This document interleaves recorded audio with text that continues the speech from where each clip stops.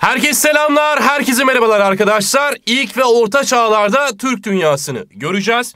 Peki konu içinde neler göreceğiz?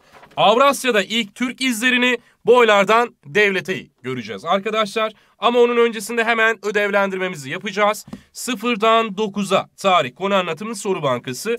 Hangi sayfalardan sorumluyuz dediğimizde içindekilerine hemen bakıyoruz. Dördüncü ünitemiz yani ilk ve orta çağlarda Türk dünyası 96'dan arkadaşlar 106'ya kadar neyiz? Sorumluyuz. Daha sonrasında ise bizim 9. sınıf Dinamo soru bankamızı ne yapacağız? Çözeceğiz. Peki burada hangi sayfadan sorumluyuz? 105'ten 130'a kadar arkadaşlar sorumlu olacağız. Tabii ki bu konular içerisinde öğrenemedik ya da anlayamadık. Tekrar açıyoruz, videoyu izliyoruz ve bomba bir şekilde konuları öğreneceğiz. Şimdi hazırsanız hız kesmeden başlayalım. Şimdi ilk olarak arkadaşlar Türkler nerede yaşadı? Yani atalarınız nerede yaşadı? İlk olarak Avrasya'da görülen Türkleri araştıran bilim insanları bu kadim milletin adına en eski tarihi kaynaklarda araştırmıştır. Yani Türk kelimesiyle ilgili birçok bilim insanı hem Türk hem yabancı bu konu hakkında bir fikir edinmiştir. Şimdi Türk kelimesinin anlamı neler ifade ediyor? Şimdi Çin kaynaklarında Türk kelimesine miğfer demişler. Yine Kaşgarlı Mahmut diyor ki hayır diyor ya Türkler diyor olgunluk çağı anlamına ne yapar? Yani Türk kelimesi gelir diyecek. Daha sonrasında yabancı olan Vemberi'ye göre ise Türkler türemek ya da çoğalmak anlamına ne yapar? Gelir diyecek. Ziya Gökalp'e göre hayır kardeşim Türkler kanun ve nizam sahibidir diyecek. O zaman demek ki Türk kelimesi birçok anlama ne yapacak? Gelecek. Bakın miğfer, olgunluk çağı, türemek, kanun ve nizam sahibi olarak ne yapacağız? Bileceksiniz. Peki Türk kelimesi ilk kez hangi kaynaklarda geçer dediğimde ise aklınıza direkt kimler gelecek? Çin kaynaklarında ilk kez Türk kelimesi ne yapılmıştır? Kullanılmıştır. Peki Türk devletlerinde ise ilk kez resmi bir kimliği hangi devlet kazandırdı dersem kök Türk devleti diyorsunuz arkadaşlar. O yüzden de Türk tarihinde ilk kez Türk adıyla kurulan ilk Türk devleti olarak ne yapacağız bileceksiniz. Peki coğrafi bölge olarak Türkiye neresi? Hangi bölgeler için söyleniyor? Bazen diyorsunuz ki Anadolu coğrafyası sadece Türkiye ibaresi. Hayır arkadaşlar. Şimdi biz bunları ne yapacağız? Güzel bir şekilde bileceğiz. Peki neymiş Türkiye? Hangi bölgelere söyleniyor? Buna bakalım birlikte. Türkiye kelimesi ilk olarak arkadaşlar 6. yüzyılda Bizans kaynaklarında Orta Asya bölgesi için kullanılıyor. Demek ki ilk olarak Türkiye ibaresini Orta Asya bölgesi için kullanılıyor. Hangi kaynakta? Bizans kaynaklarına. Daha sonrasında Bizans kaynakları 9 ve 10. yüzyıllarda Volga'dan Orta Avrupa'ya kadar uzanan sahaya da Türkiye adını ne yapmıştır? Verecek. Mesela garipseyeceksiniz. 11 ve 13. yüzyılda ise iki bölge için daha Türkiye ibaresi kullanılıyor. Bunlardan birisi Mısır, diğeri ise neresi diyoruz? Suriye diyeceğiz. Bakın unutmayın bir yere Mısır, diğeri de Türkiye. Şöyle bir toparlayalım o zaman.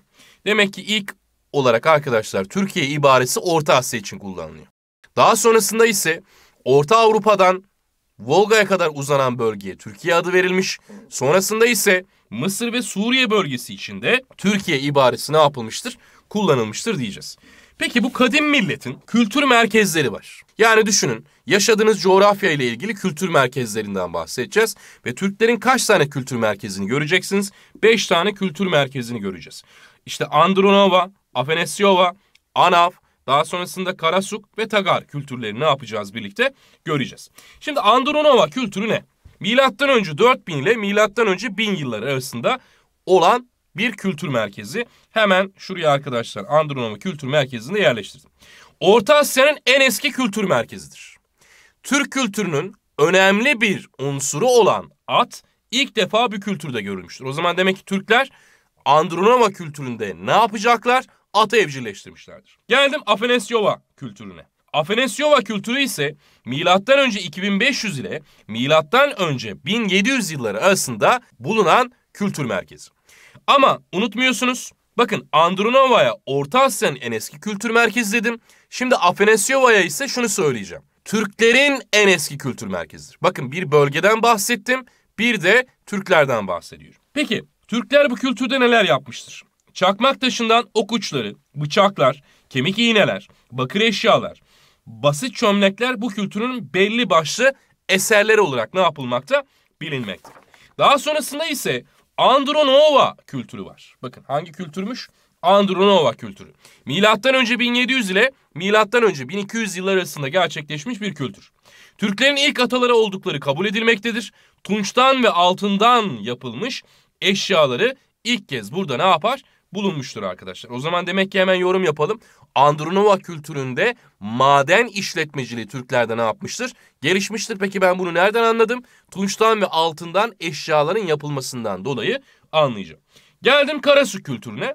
Milattan önce 1200 ile milattan önce 700 yılları arasında gerçekleşen bir kültür. İskit kültürünü oluşturan atlı göçebe kültürünün Orta Asya'ya yayılmasını sağlamışlardır. İlk kez demiri işleyecekler arkadaşlar. Aynı zamanda unutmuyorsunuz bir nevi Andronova kültürünü de devamı niteliğinde ne yapılabilir? Sayılabilir diyeceğiz. Aynı zamanda bakın unutmayın ilk kez demiri işlemişler. O zaman demiri işlediysem Türkler silah yapım tekniğinde de ne yapmıştır? Gelişmiştir diyeceğiz Karasu kültürü için. Peki biz bu kültürleri gördük. Hocan sana soru sordu. Dedi ki Türklerin en yeni ve en gelişmiş kültürü aşağıdakilerden hangisidir dedi. Hemen sen de yapıştırıyorsun. Tagar kültürü diyeceksin. Tagar kültürü de milattan önce 700 ve milattan önce 300 yılları arasında gerçekleşmiş bir kültürdür. O yüzden de Türklere ait en gelişmiş kültür merkezi diyeceğiz. Yani aslında günümüze en yakın kültürdür. Notumuzda da bunu verdik. Bu kültürden günümüze en yakını Tagar kültürü olarak ne yapılmakta? Bilinmekte. Geldim bu kadar kültürü gördüm. Peki atalarınız siyasi olaylar olarak neler gerçekleştirdi? Hangi savaşları yaptılar? Hangi devletleri kurdular? Bakın iki Fransız yan yana gelmiş. Diyor ki hadi gel birlikte beraber eğlenelim. İki Alman yan yana gelmiş gel birlikte fabrika kuralım. İki Türk yan yana geliyor hadi devlet kuralım diyecek. Bu da Türklerin teşkilatçı yapısını ne yapmıştır? Ön plana çıkarttı diyeceğiz. Şimdi ilk olarak milattan önce 220 yılında Asya Hun Devleti'nin kurulmasını göreceğiz. Daha sonrasında ise 216'da Asya Hun Devleti'nin yıkılması Çin'in parçala böl yok et politikası sonrasında Asya Hun Devleti yıkılacak. Asya Hun Devleti yıkıldıktan sonra Türk göçlerini göreceğiz. Türk göçleriyle birlikte bu Türk göçleri neyi tetikleyecek? Kavimler göçünü gerçekleştiriyor 375 yılında. Aynı zamanda unutmayın. Peki ne dedik? Gittiğimiz yerde devlet kurmadan durabilir miyiz? Tabii ki duramayız. Avrupa'ya Türk kültürünü götüreceğiz ve 370 yılında Avrupa Hun devletini ne yapıyoruz? Kuracağız. Daha sonrasında ise 496 yılında Avrupa Hun devleti yine arkadaşlar kısa süre içerisinde ne yapmıştır?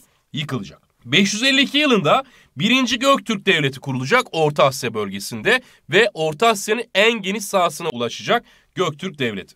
Daha sonrasında ise Çinlilerin parçala böl yok et politikasıyla 630 yılında devlet yıkılacak. Yıkıldıktan sonra 50 yıl Çin'in esareti altında yaşayan Türkler Kürşat ihtilali ya da arkadaşlar Kürşat isyanıyla birlikte 682 yılında bağımsızlıklarını kazanarak 2. Göktürk Devleti'ni kuracak ya da diğer ismiyle biz buna Kutluk Devleti diye de ne yapacağız? Adlandıracağız. 742 yılında ise 2. Göktürk Devleti tarih sahnesinden çekilecek.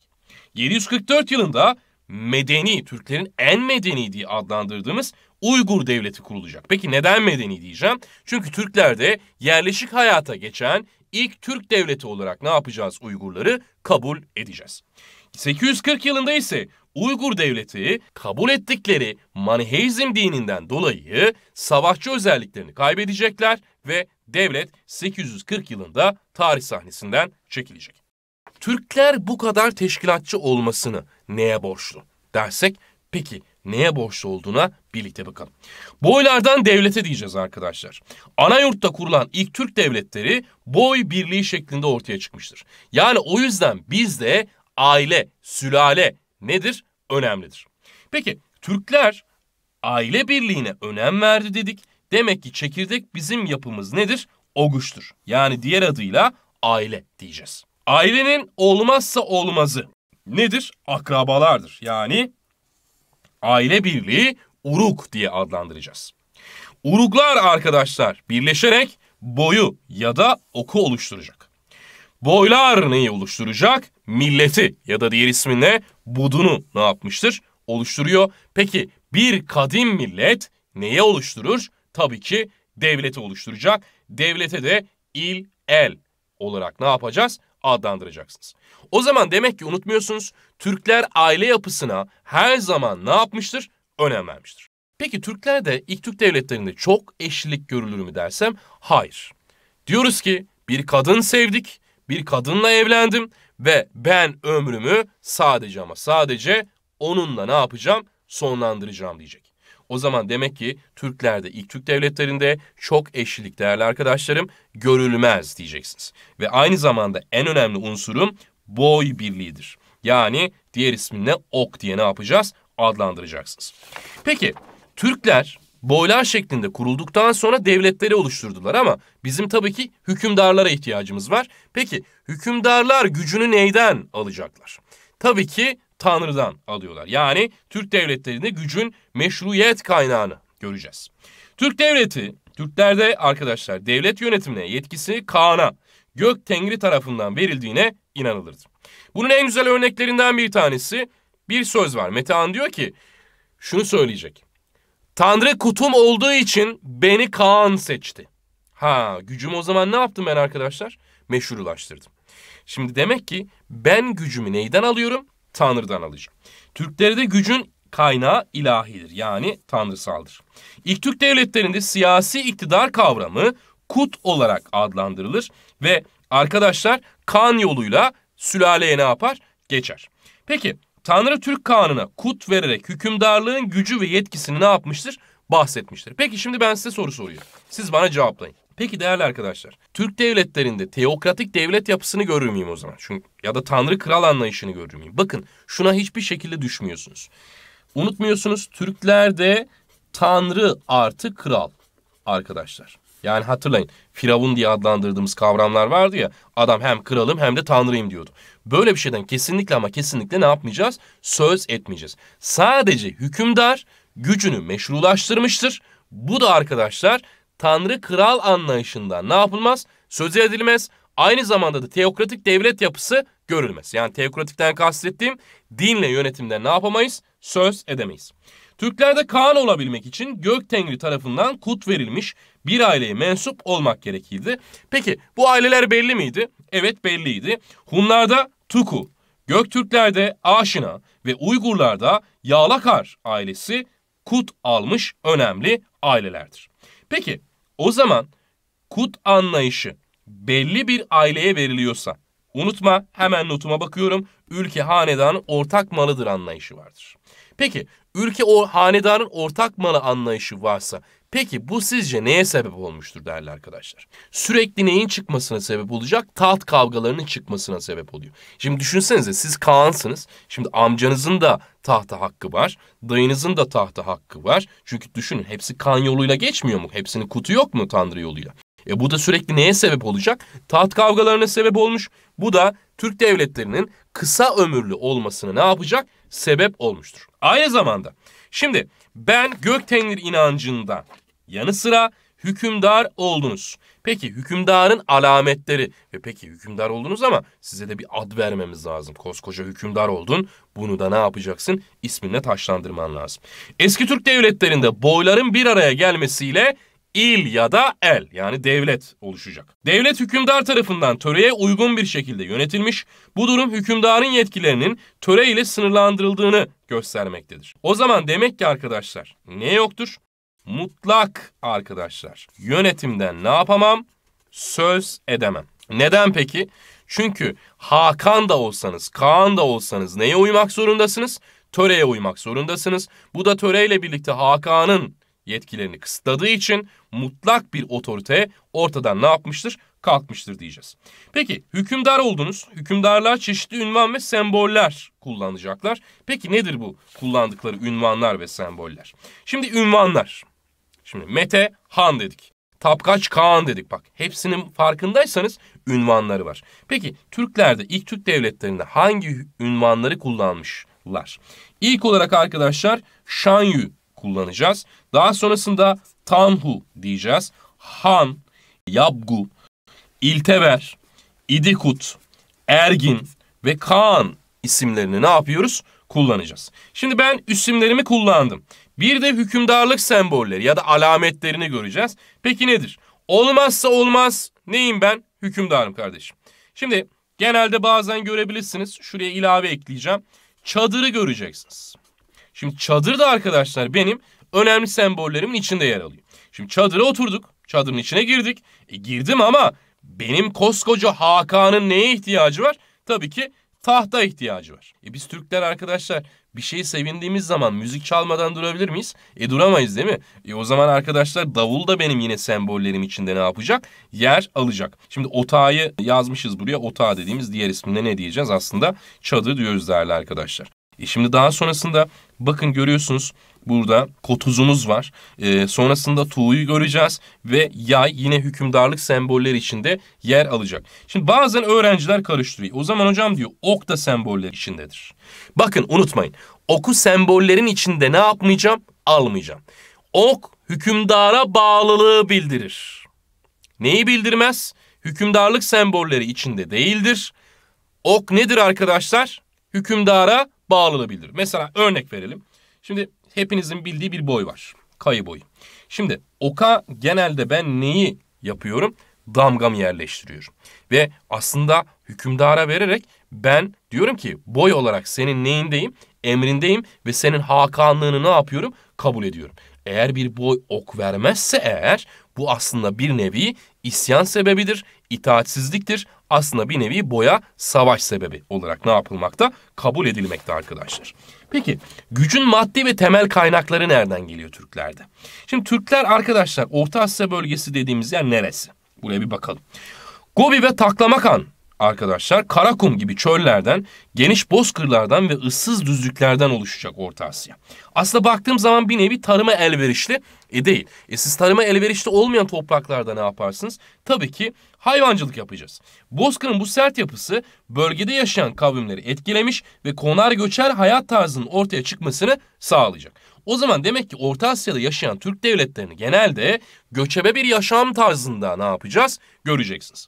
Bozkır'ın altta göçebeleri çabucak organize olabilen savaşçı bir toplum yapısına nedir? Sahiptir. E çünkü düşünün sürekli atın üstündesiniz ve sürekli mücadele vermek zorundasınız. Bu da Türklerin savaşçı kimliğini ön plana ne yapmıştır? Çıkardı. Konar göçerler toprak bağlılığı değil soy adiyetini birinci planda tutmuşlar ve soy kimlik aile, oguş ve boylar içinde gelişmiş ayrıca sınırlı otlakları kullanma mecburiyeti aile ve grup ilişkilerini güçlendirmiştir. Peki ben buradan ne anladım? Şunu unutmuyorsunuz. Şimdi burada bir toprağım var. Bu toprağım sınırlı. Bu toprağım sınırlı olduğum için benim aile bağlarım ilk Türk devletlerinde kuvvetli. O yüzden de Türkler paylaşmayı her zaman ne yapmıştır? Seçmiştir. Yani hepsi benim, hepsi benim demeyecekler. Bu da Türklerde arkadaşlar aile ve grup ilişkilerini ne yapacak? Güçlendirecek. Aynı zamanda güç paylaşımı ve yönetimi nasıl gerçekleşiyor Türklerde? Bakın ne dedik? İlk Türk devletleri boylar şeklinde kurulacak. Boylar şeklinde kuruluyor. Aynı zamanda Türk Devlet Teşkilatı'nda kurultay düzenlenir. Ya da hatta güzel bir söz vardır. Toyumuz toylansın, davulumuz çalsın diyecek. Şimdi siyasi ve kültürel, hukuki ve ekonomik konularda genel kararlar alan ve devlet yönetiminin temelini oluşturan en yüksek kuruluştur kurultay. Peki kurultaya kimler başkanlık eder? Tabii ki hakanlarımız, hükümdarımız. Olmazsa olmazımız. Ama unutmayın hatırlayın. Türklerde genelde tek eşlilik görülür dedik. O zaman demek ki her başarılı bir erkeğin arkasında mükemmel bir hatun vardır. O zaman demek ki Hakan'ın eşleri hatunlar da neye katılabilir? Kurultaya katılabilir. Hatunu ketun diye de ne yapabilirsiniz? Duyabiliriz değerli arkadaşlar. Hatırlayın e, devlet neyle kurulmuştu? boy beyleri yani boy birliği şeklinde kurultu. O zaman demek ki kurultaya kimler de katılacak? Boy beylerim de katılıyor. Yine aynı zamanda ülke hanedanın neyiydi? Ortak malıydı. E o zaman demek ki arkadaşlar kimler de katılıyor? Hanedan üyeleri de ne yapmıştır kurultaya katılıyor. Aynı zamanda bir ilave edeceğim. Şimdi buraya bir arkadaşlar Ayguci'yi ekleyeceğiz. Bir de arkadaşlar neyi ekleyeceksiniz? bakanları ekleyeceğiz. Bakın Ayguci dediğim hükümdarın yardımcılarıdır. Yani bir nevi bugünkü başbakan olarak ne yapılmakta bilinmekte. Peki bakanlara ne diyorum ben dersem buyruk diyeceksiniz. Bakın onlara da ne diyormuşuz? Bakan olarak ne yapacağız? Adlandıracaksınız. Demek ki kurultaya katılan iki tane daha etmeyen aldım. Birisine Ayguci, diğerine de ne diyeceğiz? Buyruk olarak ele alacaksınız değerli arkadaşlar. Peki Türkler devlet teşkilatı anlamında nasıl kuruldular? Şimdi gök tengri inancına sahibi. O yüzden de güneş nereden doğuyor? Doğudan doğacak. O yüzden de Türkler için kutsal yer neresidir? Doğudur. O yüzden de devleti bölerek yöneteceğim. Doğu ve batı olarak yöneteceğiz. Şimdi o zaman düşünün. Bakın güneş nereden doğuyor dedim? Doğudan doğuyor. O zaman neresi kutsal? Doğu kutsal. O zaman doğuyu kim yönetir? Hakan. Aynı zamanda batıyı peki kime vereceğiz? Tabii ki Hakan'ın kardeşine veriyoruz. Peki Hakan'ın kardeşine dediğimizde de ne gelecek aklınıza? Yagbu diyoruz arkadaşlar. Ne diyecekmişiz? Yagbu. Bunun en güzel örneklerinden bir tanesi devletimizi işlediğimizde göreceğiz arkadaşlar. Şimdi Doğu'yu Bumin Kağan yönetirken Batı'yı ise kardeşi İstemi Yagbu yönetmiştir. Şimdi peki bu neye sebep oluyor? Sorum şu. Kendi içinizden cevaplayın. Türk devletlerinde, ilk Türk devletlerinde merkezi bir otoriteden söz edebilir miyim? Kesinlikle söz edemezsiniz. Neden? Çünkü zaten bölmüş. Bir merkezim yok. Ama ben Türkler için şunu söylüyorum. Şimdi arkadaşlar unutmuyorsunuz Boylar Birliği neyi şeklinde kuruluyor? Federasyonu diyorsunuz. Bakın ne şeklinde kurulmuş? Boylar Birliği Federasyonu ya da biz buna ikili devlet teşkilatı olarak ne yapacağız? Adlandıracaksınız. İç işlerinde arkadaşlar serbest, dış işlerinde ise kime bağlı? Hakan'a bağlı. Peki düşünsenize bu sizce taht kavgalarına sebep olmaz mı? İstemiyak bu iki gün sonra devletin başına geçmek istemez mi? İster. E, bu ikili devlet teşkilatı Türklerde devletin ömrünün kısa olmasına ne yapmıştır? Sebep olmuştur diyoruz değerli arkadaşlar. Şimdi konu biterken neleri gördük? Avrasya'da ilk Türk izlerini gördük. Türk kültür merkezlerini gördük. İşte Anav, Afanasyova, Karasuk, Tagar, e, Andronova gibi kültürleri işledik. Bu kültürlerin yanı sıra boylardan devlete oluşacak teşkilatlanmayı. Oguş, Urug, daha sonrasında Boy, Budun ve arkadaşlar İli ya da Eli gördük. Yani devleti gördük. Türkler demek ki teşkilatçı yapısında ön plana ne yaptılar? Her zaman çıkmışlardır. Bunu hiçbir zaman ne yapmayacağız? Unutmayacaksınız. Ve unutmayın Türklerde hiçbir zaman arkadaşlar çok eşlilik ne yapılmaz? Görülmez. Evet bunları gördük değerli arkadaşlar. Peki yorumlarınızı tabii ki Tonguç her zaman ne yaptı? Önemsedi. İlk adımız video yararlı oldu mu? İkinci adımız ise bize öneri ve tavsiyen var mı? Üçüncü adımımızda ise ödüllü soruyu bulabildin mi? Son olarak ise videoya like atmayı ne yapma? Unutma. Şimdi değerli arkadaşlar sizin için mükemmel bir ödüllü soru bırakıyorum. Cevapları yorum kısmına bekliyorum. Kendinize çok iyi bakın. Hoşçakalın. İyi çalışmalar.